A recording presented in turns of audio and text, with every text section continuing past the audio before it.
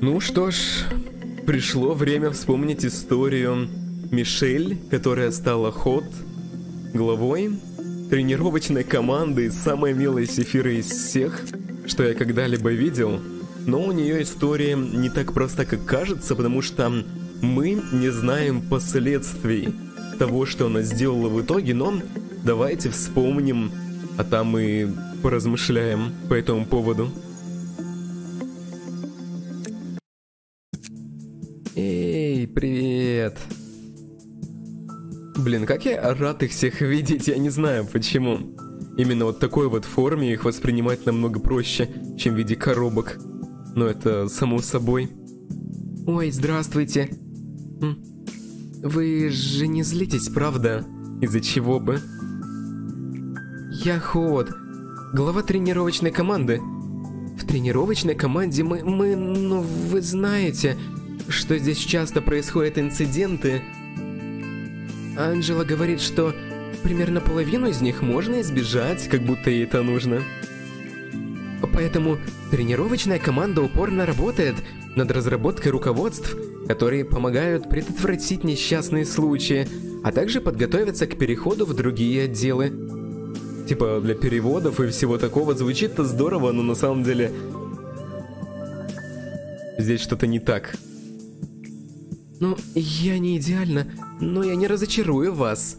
Прямо как э, Малхут, только более такая... Ну, как, как бы это сказать, застенчивая, что ли. На данный момент, боже, как она... На данный момент я испытываю новую программу. Но я не знаю, будет ли она эффективной, но... А, что это за программа? Как вы знаете, наша компания не самое приятное место. Хоть мы и проводим регулярные психические обследования, каждый день кто-то сходит с ума. Я знаю, каково это. М? Хотя я не взаимодействую с аномалиями напрямую, как они. Я знаю, каково это потерять рассудок. С самого начала начинает вот мрачняк показывать свой. За улыбкой. Я еще проверяю программу, поэтому не знаю, понравится ли она всем сотрудникам. Однако я надеюсь, что смогу помочь вам. И кто-то стучится. Тифани. Спасибо, Ход. Все ужасные видения прекратились. Как вы и говорили, полезно приходить сюда поговорить. Все так идеально. Нет, все благодаря твоей решимости рассказать все мне. Я серьезно, Ход, если бы не вы, я бы уже давно наложила на себя руки. В любом случае, вы спасли мне жизнь. Я очень рада, что именно вы, Сефира нашего департамента. О! Вы очень хороший человек. Но все слишком идеально для этого места, вы же понимаете. Спасибо, Тифани. Я рада, что тебе стало лучше. Я слышала, что ты переводишься в другой департамент. Мне нужно напомнить себе обо всем, о чем мы беседовали. Конечно, ход. Видите, управляющий, моя программа действительно работает. Я хочу быть здесь настолько полезной, насколько смогу. Ведь от моей тяжелой работы сможет выжить множество людей. Все это первый раз, когда ты слышишь, все это настолько умилительно и здорово, что ты не веришь, что что-то такое и кто-то такой вроде Ход может быть здесь, в этом месте, и успешно применять свои способности. Но чем дальше мы будем уходить вперед, тем больше будем понимать всю горечь ситуации на самом деле. И история Хотана одна из самых трагичных в принципе. Спасибо, что успешно выполнили мою просьбу, управляющий. Чувствую, что я становлюсь все увереннее. Кот. До меня дошли некоторые новости, говорит Анжела. О, Анжела, ты про программу консультаций? Спасибо. Да, программа. Прекрати ее. А, но почему мои консультации помогут большинству сотрудников и... И каким образом подобные консультации помогут им? Но я хочу продолжать ее. пока люди нуждаются во мне. Тифани, Тифани говорила мне... Тифани? Тифани Браун, перешедшая в команду безопасности. У нее было расстройство личности и зависимость от анкефалина. С этого утра она больше не с нами. Бам! Вот так вот сразу. Запись о ней удалена? Это был суицид. Когда ее проблемы обнаружились, психическое заражение достигло 90%. Как это вообще могло быть? Конечно, ты это знаешь. Конечно же. Ты помогаешь, Ход. Но мне нужно немного энкефалина, чтобы успокоиться. Это же часть твоих консультаций. То есть они делали хорошее лицо перед ней, чтобы она давала им энкефалин закинуться. Боже, это музыка. Мне следовало изъять у тебя энкефалин. А что если это ты давала энкефалин на Цаху? И ведь так оно и было.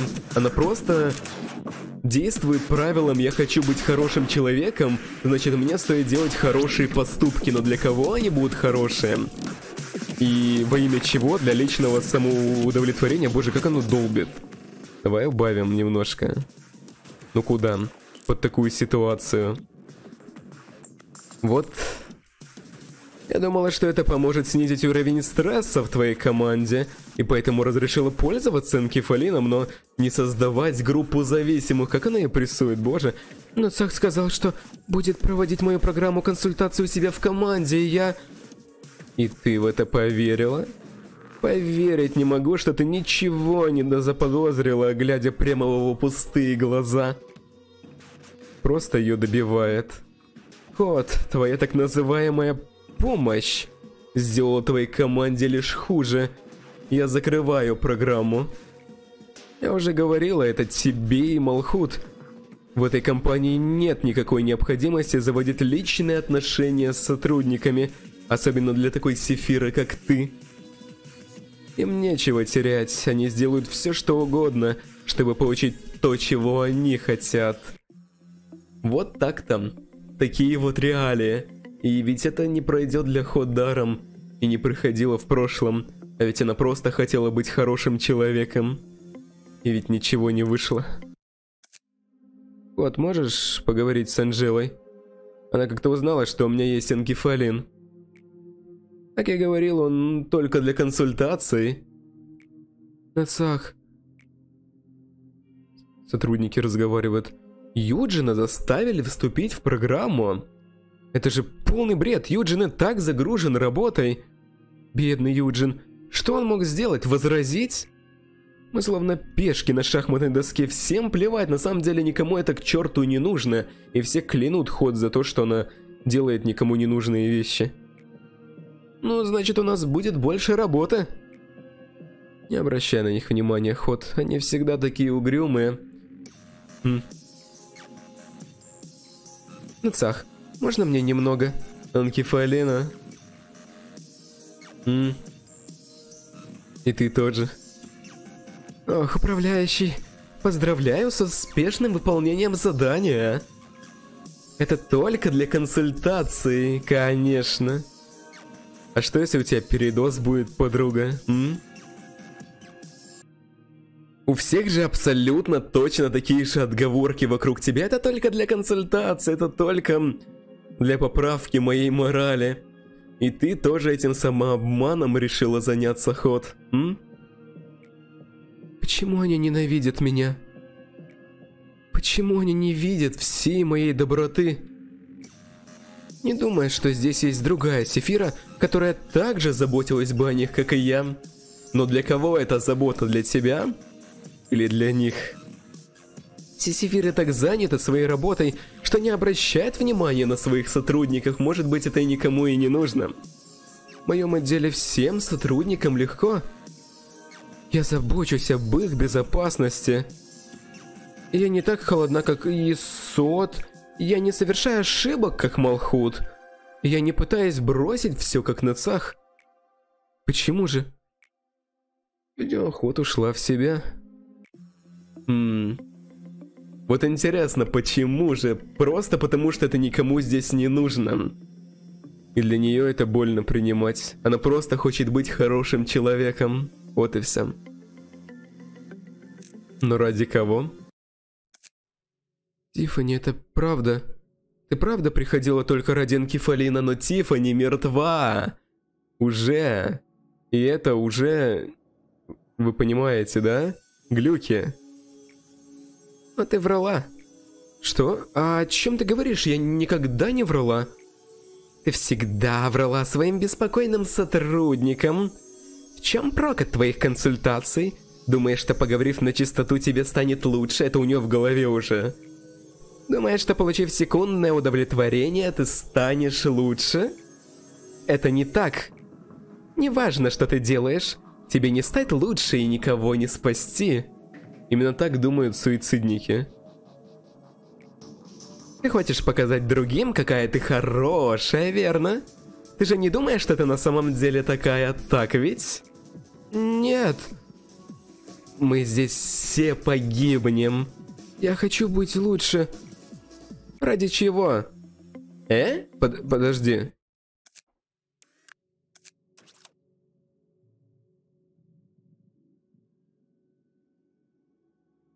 Мне кажется, или что-то здесь сломалось?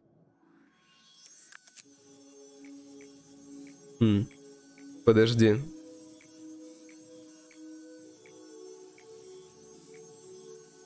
Ну да. Ради чего и ради кого она хочет быть лучше? Ради самой себя? Себе? Доказать, что она хороший человек? Или быть хорошим человеком на самом деле? Вот в чем суть-то история. До безобразия проста, но еще более трагично, учитывая, с кем это все происходит. Вот, это обычный симптом при первом приеме энкефалина. И у нее глюки начались, и самокомпания, и самобичевание, и это очень плохо. Небольшие галлюцинации. Она на, на Цаху об этом рассказала. Еще два-три раза, и они не будут тебя беспокоить. Сам я видел наполовину расплавленного сотрудника, который полз ко мне, чтобы узнать, почему я дал ему умереть. Может быть, это и была реальность.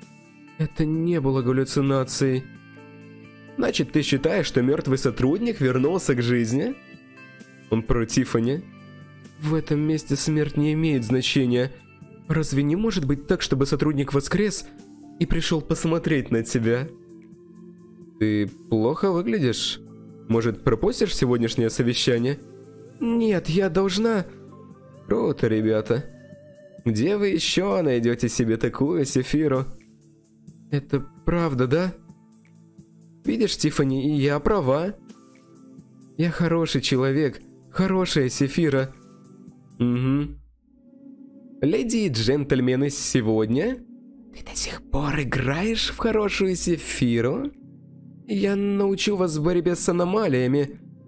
Сколько раз мне говорить себе, ты всего лишь никчемный кусок металлолома, притворяющийся хорошим человеком. Я... я хочу, чтобы вы все сконцентрировались. Аномалия, которую мы будем усмирять в этот раз, требует иного подхода. Если ты так хочешь расслабляться, то это эгоистично. А теперь я поясню разработанный мной метод. Слушайте внимательно. А вот остальные сефиры признают свои недостатки. Это голоса у нее в голове. На совещании. Замолчи. Ох, Прошу прощения. На чем мы остановились? Кот, у меня есть вопрос. Да, какой? А этот метод хоть что-нибудь изменит? В борьбе с той же длинной птицей те, кто должен умереть, умрут, а те, кто должен жить, выживут. Ты про птицу правосудия? Это лучше, чем ничего. Вам нужно быть готовыми предотвратить эту ситуацию, а не просто сидеть и смотреть. Это просто удача, проще работать, когда ты готов умереть. Это уже настоящие сотрудники говорят. Просто напомню. Тебе не попасть в рай, не важно, что ты делаешь. Я веду эту программу консультаций только ради вас. Говоря о ней, как по мне делать ее принудительно, это уже слишком. Я бы лучше просто отдохнул. Вот эти вот давления со стороны людей еще голоски, шепотки о никчемности у нее в голове. Это же просто жесть. почему наш департамент единственный, в котором проводится эта программа? Это будет повторяться вечно жизнь на этой свалке, захороненной в скорби и сожалении. Я... Если бы не я, вы бы уже давно все умерли. О, вот как. Но это прорыв ее. Почему вы не благодарите меня за это? Вы хотите, чтобы я просто брала и даже не выслушав, избавлялась от вас, как Малхут? Не говорите, что я плохой человек и она ломается из-за этого. Как ты наконец-то приняла свою истинную природу? Тифани, что со мной не так? Я не Тифани, прислушайся. Ты уже не узнаешь свой собственный голос? Это Шиза. Ах, значит, ты все еще видишь кошмары? Все еще. Мы узнали о том, что Мишель совершила суицид в тот момент, когда мы наконец продвинулись в нашем эксперименте. Мишель была самой юной среди всех нас, неуверенным и плохо информированным сотрудником. Так просто стать чьей-то жертвой. В конце концов, вероятно, для нее было верным решением стать подчиненной крыльев, что боялись нас и ключом для главы – что всегда наблюдал за, ними, за нами. Они же незаконные исследования проводили скрытые от всех, даже от лидеров города. Именно через ход, втеревшись к ней в доверие, потому что она была молодой, впечатлительной и доверчивой.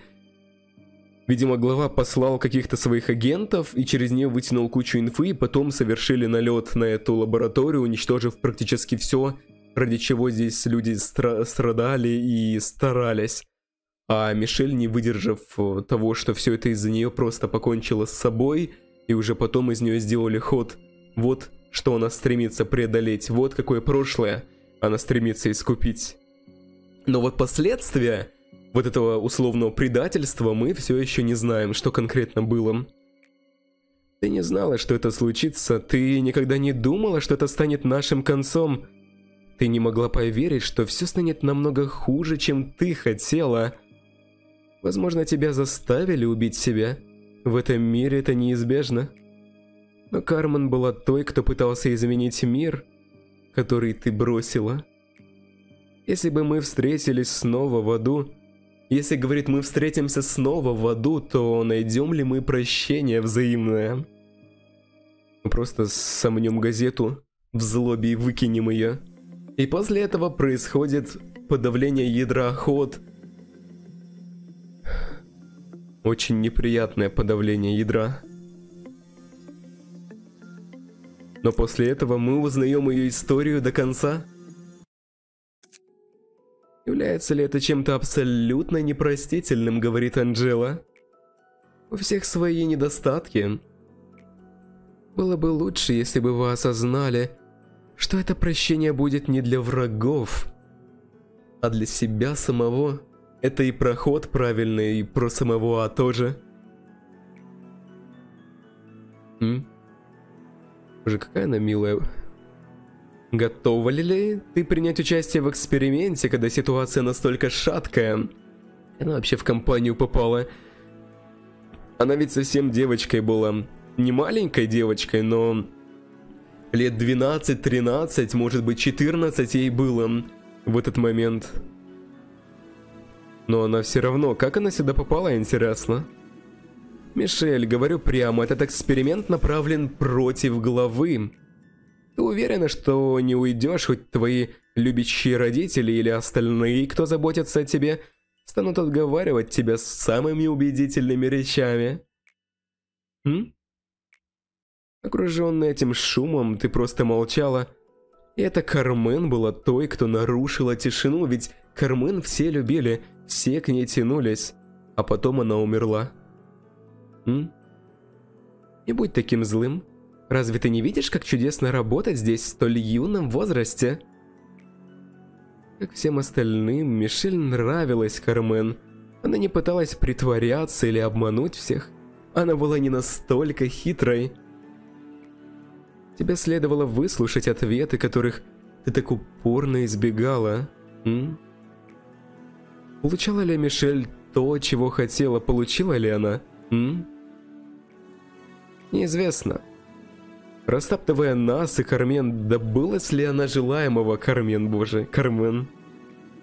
Я не знаю. Да и она вряд ли уже тогда не знала, чего конкретно она делает.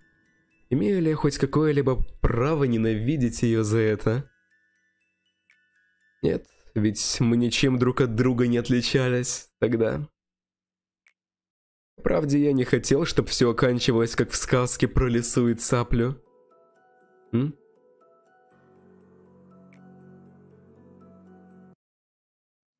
Управляющий, вам удалось понять, кто вы на самом деле?